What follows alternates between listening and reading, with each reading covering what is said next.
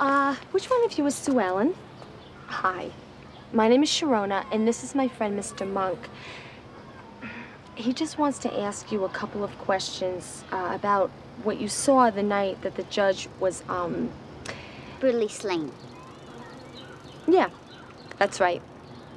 Is he a policeman? He was. What happened? I had a breakdown. I was nearly catatonic for about three and a half years. I already talked to the real police. Three times. I know, but Mr. Monk has a different way of looking at things. Make them buy some lemonade. I'll only talk if you buy some lemonade. That's the rule. Oh, okay. No, he has to buy some too. Yeah, No, uh, no, no, no thanks. No. Buy some lemonade. Okay, fine. Uh, just have a small, it's very, very small. Yeah, that's,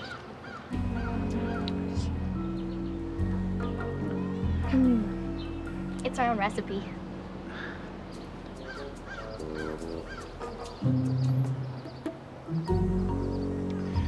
that uh, hit the spot. Thank you. Okay, now, now it's your turn. I want you to think back to that night. You were walking your dog. Yeah, I was walking my dog by the big house over there, like I do every night. The smoke alarm went off, so I looked. And what did you see? You familiar with the term extortion?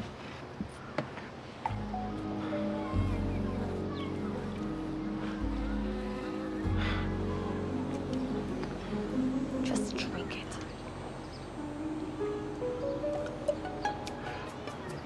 Go on. So I looked, and I saw this really fat guy in the house. No, I mean like really fat, like fat, fat. Yeah, fat. Then you opened the curtains and stood on a chair and turned off the alarm. Okay, I, I just want to be absolutely sure. The alarm sounded, and then you saw the curtains open up?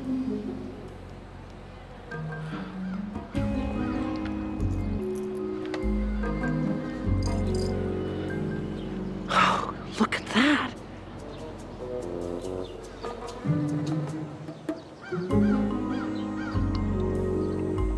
Is that right? Smoke alarm and then the curtains? Yep. Why would he open the curtains before he turns off the alarm? He was putting on a show. What kind of show? It's putting on a show for you.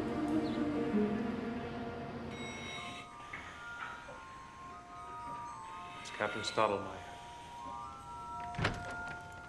Hello, Mr. Biederbeck. Captain, I really wish you would have called. I'm a little busy at the moment.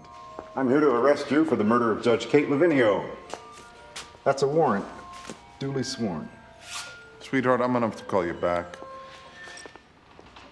Doctor, will you call Howard Klein and tell him we're suing the city for malicious prosecution again? I have hired a local construction company to take out this door. We're gonna get a crane in here and lower your fat ass down to the street. A crane! Oh, that's rich. But would you mind explaining to me how I'm supposed to have killed the bitch? I can't leave this room, remember? Mr. Monk! Well, my, my, my. It's the defective detective once more. Lay it on me, Einstein. These two chairs are from the judge's house. The killer stood on one of them when he turned off the smoke alarm. A girl in the neighborhood saw, quote, a very, very fat man standing on it. But there's something funny about the chair. It's not broken. This is Sergeant Cargill from the 14th Precinct. Sergeant, how much do you weigh? 265. Would you mind?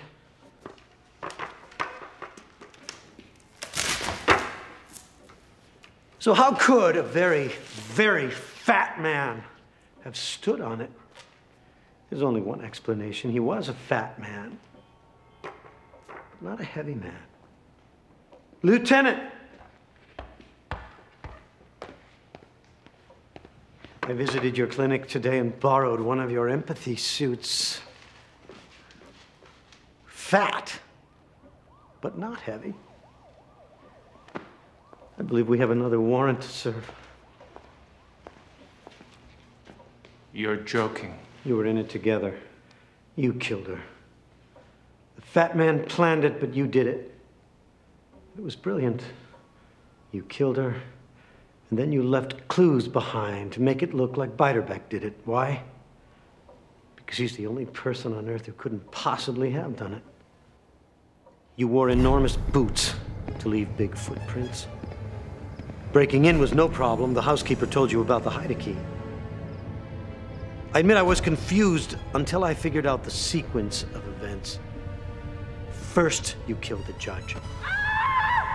Then, you ransacked the house. Of course, you needed a witness. You put on one of your fat suits, set off the alarm, and then waited until you were sure somebody was watching.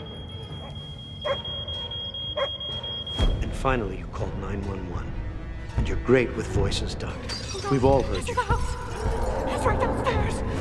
Biederbeck even supplied you with videotapes of the judge so you could practice. This is insane. Why would I risk everything? Well, you really didn't have a choice, did you, Glenn? I knew Christiane wasn't your real name as soon as you said you were 37 years old. You told Sharona that you were named after Christiaan Barnard, but he wasn't famous until 1967, after you were born. I put the FBI on it. They were looking for you. Your real name is Glenn Q. Sindel. You killed a child five years ago.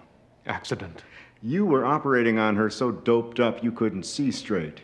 Accident. Convicted of manslaughter and reckless endangerment, you were looking at 15 years minimum. You jumped bail before sentencing, and then you disappeared. Until now. And somehow, somehow, Biederbeck learned your secret, and from that moment on, he owned you. Didn't he? Listen, I, I just have to say, fantastic work, really. Both of you, kudos. And, and for the record, I am shocked, shocked that my personal physician is both a fugitive and a cold blooded killer. Shocked. But you can't really tie me to the crime, can you? Well, now that really depends on Mr. Sindel. What do you say, Glenn? Would you like to talk to us? It will be my pleasure. I'm looking forward to testifying against you.